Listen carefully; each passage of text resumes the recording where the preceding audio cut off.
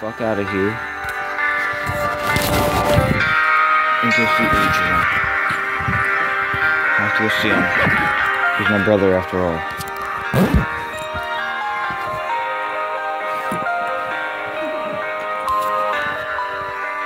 I need to get the hell out of here. I need to go see Adrian.